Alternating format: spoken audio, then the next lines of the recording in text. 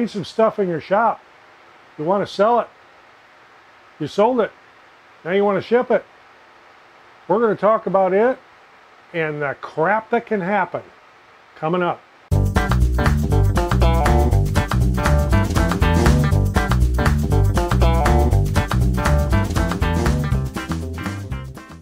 I'm Roger, welcome to the shop. What we're going to talk about here is selling your stuff and shipping it and all the things that are involved. I, I should say on a limited basis. I'm not going to go into great detail on setting up websites or setting up stores. I'm just going to give you some highlights on our experiences.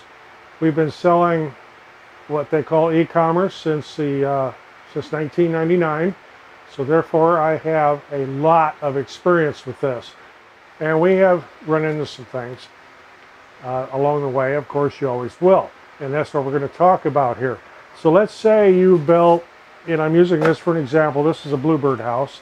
Let's say you built these bluebird houses in mass in your shop and you want to sell them. That's not a problem. eBay. Okay, that's one place, but in our experience in the last I would say five to seven years, eBay has turned into more like a yard sale. Okay, you want, let's say you want $20 for this. You'll get them people that'll come back, give you 10 and you ship it for free. Uh, no. So that's one of the things with eBay. Otherwise, eBay could be a good outlet. Um, if you have something that's very, very unique and it has not been like mass produced in China because there's a lot of that crap on eBay of stuff that's been manufactured overseas that people are selling here. But if you have something good that's handcrafted, uh, it doesn't cost much to list stuff on eBay. You can set up a store even, and it's not that expensive. So that's one outlet. That's actually where we started. Uh, the next best thing I would say would be a website. And we've had a website since the inception of our business, and it's done very, very well. Uh, when you first set up a website, you won't get many hits on it because it needs to get through a they call SEO, which is search engine op optimization. I'm not going to go into detail on that. I'm sure there's a ton of YouTube videos on how to get uh, a better SEO and how to appear higher in Google search. And there's all kinds of tricks and things you can do with keywords and meta tags. And that's a whole nother department. We're going to talk about selling and shipping your stuff here. So next place, Amazon. You have to be pretty much invited to sell on Amazon, and we do sell on Amazon. Uh, there are some caveats there, and I'll get into those here in a little while. Uh, it is a good market. It does have its down points, which, uh, like I said, I'll get into in a little bit. And there's Etsy, and we do quite a bit on Etsy. One of the great things about Etsy is they don't, at least they're not supposed to allow, and there's very little of it, of stuff made overseas that you're just going to buy and resell. Uh, that doesn't fly on Etsy. The stuff on Etsy needs, you need to make it. So if you're making, you know, birdhouses, beehives, air fresheners, t-shirts, any of that kind of stuff, you know, the crafts, things that are unique, things that are handmade, Etsy is your place to go for that kind of thing. Uh, other sites, uh, of course, there's Shopify, and we don't currently use Shopify. We could, but I don't want to get into yet another uh, avenue. We don't need it. We have plenty of business without it. Uh, you can even sell through Walmart. I mean, there's other places even besides that, but not going to get into all those. If you want to do a uh, Google search and do some research, you can find all these different avenues. Okay, so now we're going to get into the, the selling part. Uh, you sold it. If it's on eBay, Amazon, or Etsy, you have to, in that listing, say how soon you're going to ship it. So let's say you say, I'm going to ship it within five days. You need to do that. You need to have the tracking numbers uploaded. That will affect your seller rating. And in on eBay, for example, they have what's called DSR, which is a detailed seller rating. You know, item as described, you know, good uh, communication, um, item shipped on time, tracking number uploaded, you know, you actually got what you ordered. And you ordered a birdhouse and didn't get a can of oil or something, you know, that, that that's not a good thing to happen. On Amazon, it is absolutely required that you get the shipping confirmation up and the tracking information up in that set period of time. If you say you're going to ship it in five days and you don't ship it for six or seven days, if you do that a couple times, you're going to get suspended. That's just the way Amazon is. It's uh, one of their rules, and it's just the way it is, and it's not hard to abide by the rules if you leave yourself enough time. In other words, uh, let's say you're selling these birdhouses. Don't say I've got 100 of these birdhouses to sell when you've only got maybe five, and then you get 90 orders. You have to get them things up and out and out the door and that tracking number uploaded within that five day period that you put in. So keep that in mind. Now on Etsy, you don't necessarily have to get it up and shipped by the date you said, but it will affect your ratings as a seller. So if you're shipping birdhouse, I'm just using this as an example. We actually don't sell these. I'm just using it as an example. You need to have that up there and shipped by your, let's say, five day period that you specified, and the tracking number uploaded. Um, we use an automated software, it's called SixBit. It's not sponsored by them, but we use that to manage our shipping because we do such a large volume, it would be almost impossible for us to do one to 200 orders a day and have to upload everything manually. So we pay for this SixBit software, and it takes care of eBay, Amazon, and Etsy so I don't have to mess around. And also when you get an order, downloads it, sends it right out here to our shipping department. I'm, I'm in the shop, but on the other side of the shop here is where we ship from. Uh, this is a three bay large garage and the center bay is our main shipping area. It's where we have all our racks for the UPS and USPS going out. And the third bay is where we store our forklift. Yes, I have a forklift. We need it for what we do. We get boxes by the pallet. And I'll get into boxes and packaging here in a minute. And we also store our boxes and cardboard inserts and packing materials over there in that third bay. Along with a lot of junk, but there's some flat surfaces over there. And if you're like me, you get a flat surface, there's going to be something on it. So, okay, you've sold it. Now you need to ship it. How are you going to do it? Well, there's different ways you can do it. Um, there's, of course, there's UPS, there's FedEx, DHL, uh, USPS, Speedy. There's a lot of carriers. You need to uh, settle on one or two. For us, we use uh, United States Postal Service, USPS, and we use UPS. Uh, reason I use UPS over FedEx is I get a better rate from UPS. Makes a difference. So let's say you're shipping something that costs $16 to ship at UPS, it's $16.50 on FedEx. Oh, what's 50 cents? Take that times several hundred, and that makes a difference. And we also have had uh, no problems with UPS. Uh, another thing you have to think about is insurance. Uh, the first $99 value on a UPS shipment is automatically insured on uh, Postal Service and Priority Mail.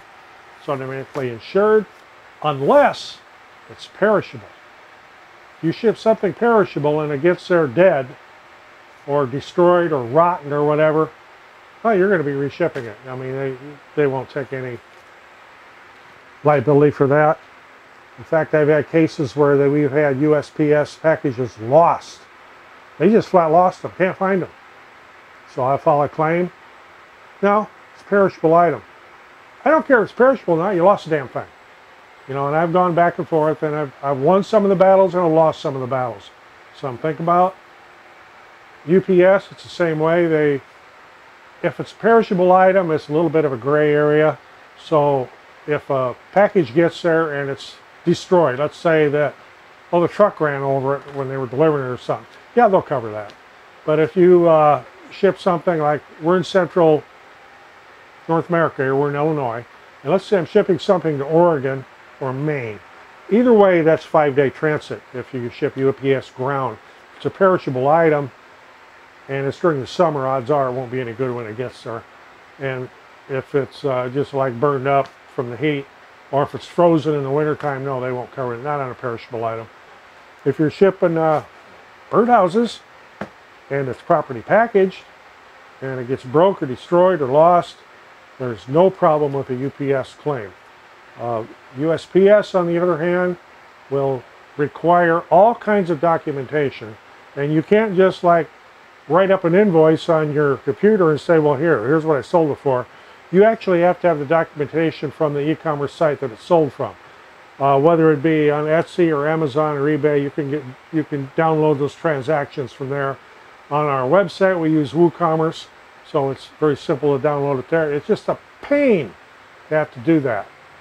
Well, next we'll get into containers. So, if it's a small item, birdhouse, uh, the USPS, if you're using priority mail, you can get these boxes, and there's these are only three of the different sizes here. Uh, if I was shipping this birdhouse, I would use what they call number seven here, because it'll fit in it with packaging around it just fine. It would also sort of fit in this, but you don't have any room for any cushioning or packaging. Now, yeah, granted, a birdhouse is pretty rugged and it's not going to break, but let's say you uh, made yourself some ceramic coffee mugs and you have them all neatly engraved or uh, printed on on there. You want to have good packaging around it. Bubble wrap, uh, what they call styrofoam peanuts, or the cornstarch peanuts. And let me give you a caution about the cornstarch peanuts. They're fine unless they get wet. The great thing about cornstarch peanuts is they're biodegradable. They break down instantly once they get wet. If you're shipping something that has a moisture content, for example, a lot of what we ship are plants, we would never, ever use cornstarch peanuts. And I don't like using styrofoam peanuts because they're not really recyclable unless someone uses them to ship again. What we generally use is shredded paper. We have a big paper shredder that we shred newspaper with, not the crosscut, but the long strips. Makes great packing. So think about, pick them shredders up pretty cheap. We happen to have a big commercial one because we go through so much. That's one way to do it. Now, so you're not shipping USPS, you're shipping UPS or FedEx or DHL or a non-post office carrier. You can't use one of these boxes and ship UPS. It says so right on here.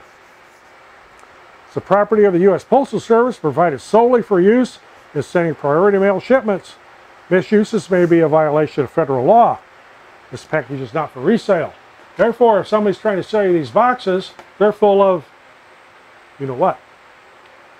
Go on the USPS.com website, go on the shipping supply tab, order all you want to a point, and they'll get there in a few days to a few weeks to a couple months. Depends on what they have in stock, and uh, yeah, that's kind of been a bit a big thing. The spring when we really ramp up, you know, we uh, we also use what's called a triangle box, and I'll have one here to show you here in a minute. We order those well in advance because we never know when we're going to get them. Mystery thing. Uh, these small ones here, this is called number, a number four box. We usually get these 200 at a time because it's not uncommon for us to crank out 100 of these in a week. Uh, just happens it fits perfect with one of the items we sell, which happens to be a three pot set of ground covers.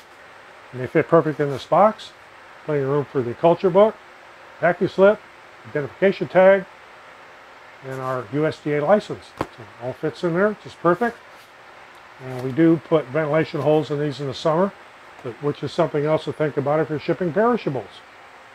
Let me go get one of these triangle boxes and I'll show you it and I'll tell you a little bit about it. Okay, here's what we call a triangle box. These come in two different sizes, uh, 36 inch, which is what I have here, and a 25 inch, which is obviously about a foot shorter. Good and bad things about these. Uh, we use these to ship small trees and shrubs. Um, they do work well. Problem, they get destroyed. Uh, I haven't talked about loss rates yet, and I guess it's a good time to get into it. We track our loss rates, whether it be a damaged or lost shipment. Uh, with UPS, this is 2021, our loss and damage rate with UPS this year with well over a thousand shipments. I don't even know the count. Is zero. Had absolutely no losses, no damage. USPS, two and a half percent. Yeah, that doesn't sound like much. Triangle boxes, almost 7%. They either get smashed or they get lost. We've even had instances where we've had returns where the only thing we get back is the mailing label off this box. Everything else is gone. And of course, then we have to file a claim.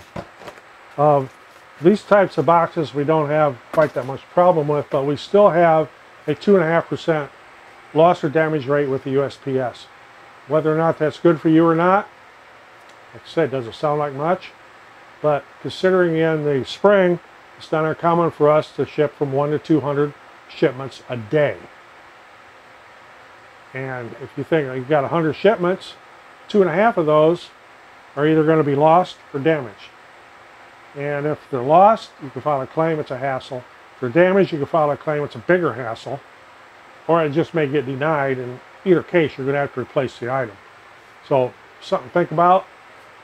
And uh, as a rule, if it weighs five pounds or less, it's cheaper to send it USPS, Postal Service, than it is UPS or FedEx.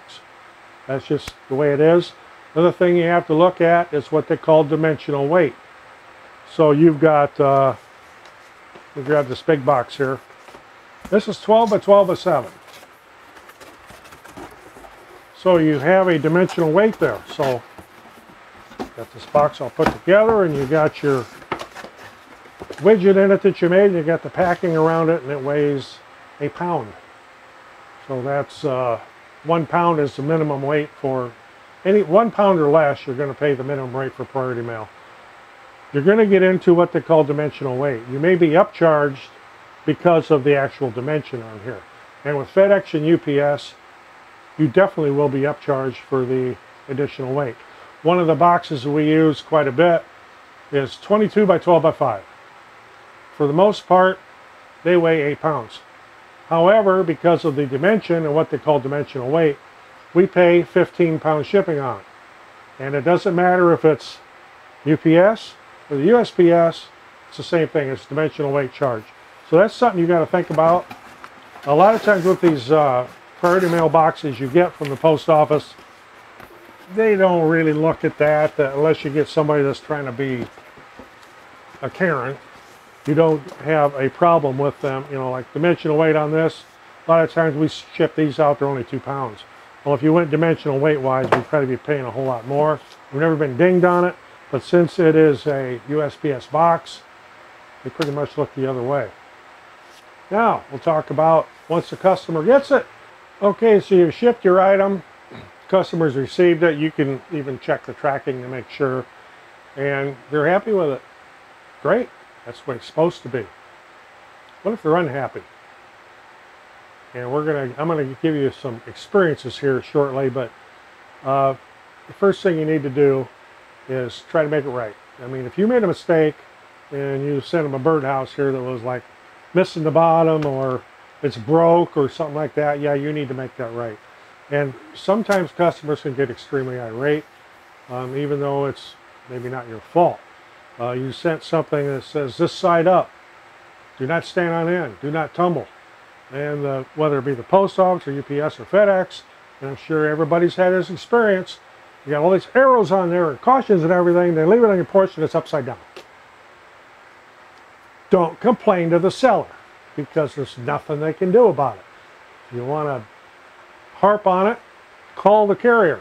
Say, hey, you know, take a picture of it. Hey, what, what the hey here? You know, uh, it's got all these arrows on it and all this, and you did this anyway. Odds are you're not going to get a, a good response. It'll be like talking to a rock. But don't blame the seller. You know, if an item is smashed, upside down, whatever, don't blame the seller. You know, and we've had this a lot. You know, we get this uh, message, well, you know, I had this box here and it's marked this side up and all this and that, and uh, they left it upside down and everything in there is damaged, and what are you going to do about it? Well, if they're polite, we will probably replace it if they're really damaged. If it's just upside down and somebody's complaining or complaining, uh, uh, whatever. Next thing you need to think about with your customer satisfaction is feedback. So, you set the birdhouse, you're happy with it. You sent 25 of them. All the customers are happy with it. How many of that 25 are going to leave you positive feedback? I love it. It's great. It's just what I wanted. It was uh, item as described. It's perfect. Two, if you're lucky. Now let's say you send them one of these and it was all crooked or broke or lopsided or not made straight or it's missing parts or whatever, and you sent 25 of them out like that. How many negative feedbacks you're you going to get? Probably 25. People will complain about something more than they will give you a positive feedback. And a lot of times we found they will complain about it in feedback and seller ratings and item rating before they contact you for a remedy. And in many cases, that feedback or rating is cannot be revoked, especially on eBay. Um, I don't think it can on Etsy. On Amazon, you can modify your rating or feedback. Just something to think about.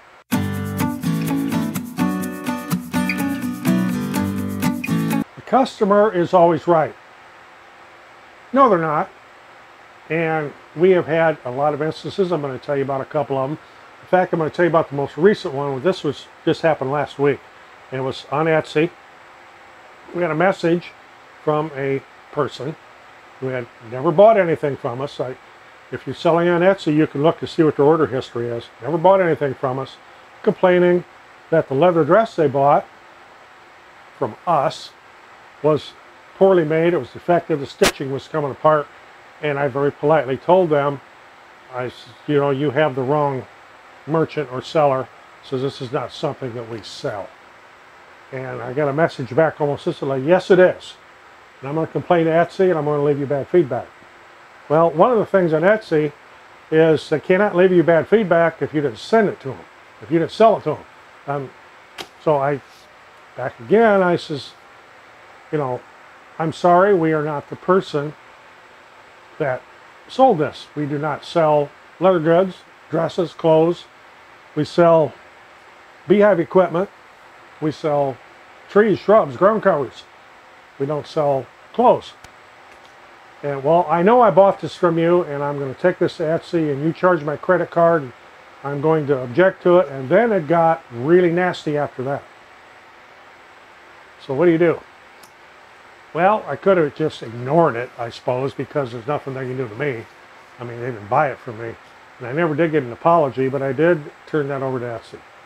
Uh, let their customer service department handle that. Uh, we've had some other instances where I will get a complaint back about something. You know, we planted this and it died.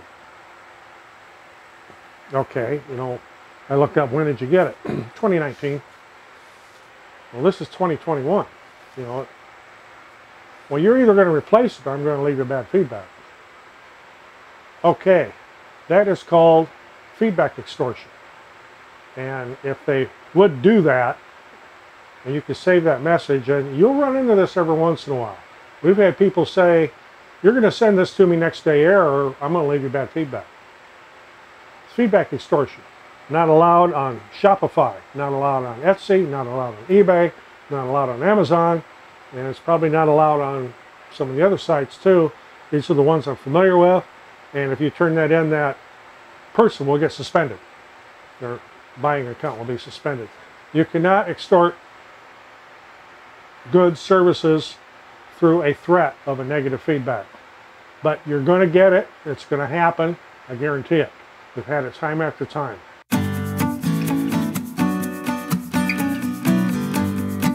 Okay, another thing we get, and I'm bringing up all these little things just so you kind of know what to expect as you enter the e-commerce market.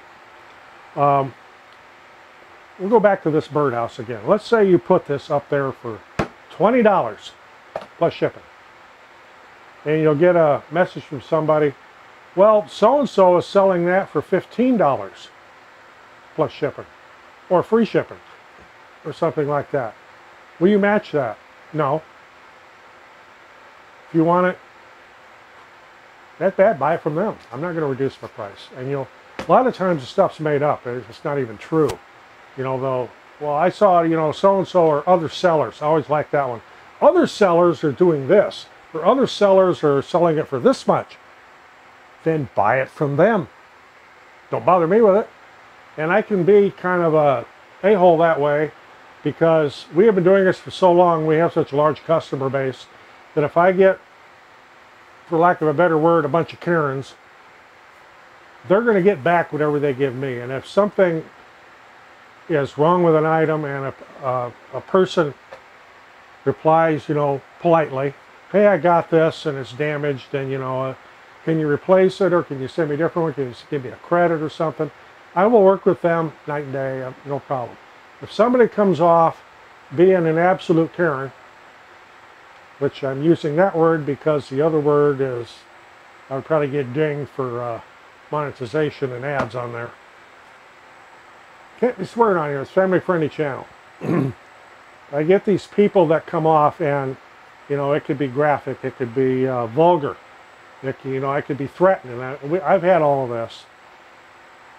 I will go back at them the same way they came at me. Yeah, people say, yeah, the customer's always right. No, they're not. You get a somebody like that, that kind of attitude, they're going to get the exact thing, same thing back from me. And uh, to give you an example, we had a person here earlier this year who thought my shipping was too much. Well, that's outrageous. You know, you, you can send one of these. They also make flat rate boxes where you send everything for a flat rate. All that stuff fit in a flat rate box. Well, no, it wouldn't because they don't know what we do. They don't know the sizes of stuff. But she says, well, I work for the post office and I know that, you know, if you put all that stuff in a flat rate box, you can send it to me for $10. Well, it doesn't fit in a flat rate box. It's going to weigh more than that. And this is our shipping. If you don't like it, buy it. And from there, it went downhill Of course, they couldn't leave me bad feedback on Etsy because they didn't buy anything. But they went to like other remote sites, you know, Dave's Garden is one of them, and there's a few other sites that you can leave reviews for companies, you know, Yelp and some kind of places. So she went to every site she could find and left me this bad review, complete with vulgar words in it. Well, guess what you can do? Once you find that out, notify, for example, Yelp, you know, somebody left us this, they're not even a customer, and it's full of uh, profanity. Well, that'll get deleted. Then that person will lose their account, you know. I, and it's it's a hassle going back, and you know, but it's kind of a little bit of a revenge thing, so to speak. But expect to get things like that. You're going to have that when you work with the general public. Uh, I worked in retail way back in the 70s, you know, when I was in high school, and of course, back then was the customer was always right. You know, somebody brought somebody something in, you know, oh, well, this doesn't work, it's broke or whatever. Regardless of what it was, you smiled, gave your money back, you apologized. Well, once you get established in business, you don't necessarily have to do that if somebody's being a Karen on you. Believe me.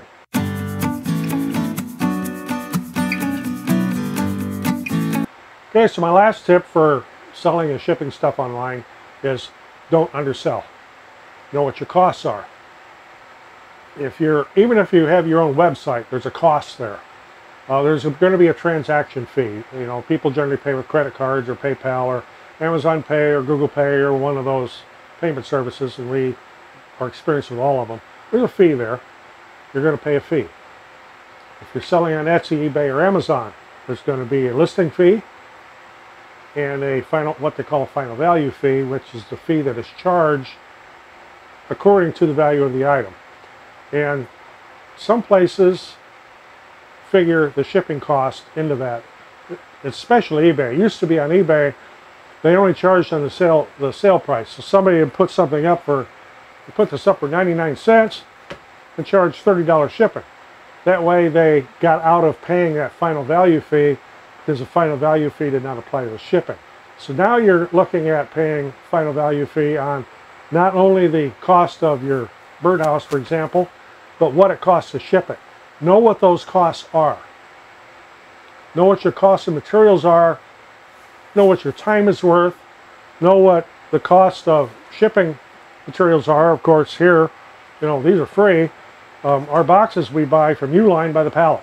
And we also have some custom made here locally uh, by a carton company.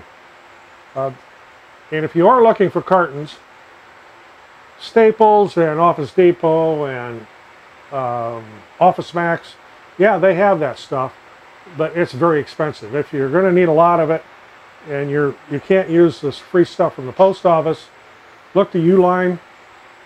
Even if you're paying UPS delivery on it for a, a small amount, it's still going to be cheaper than going to like Office Max or Office Depot or one of those places to buy a box or two at a time.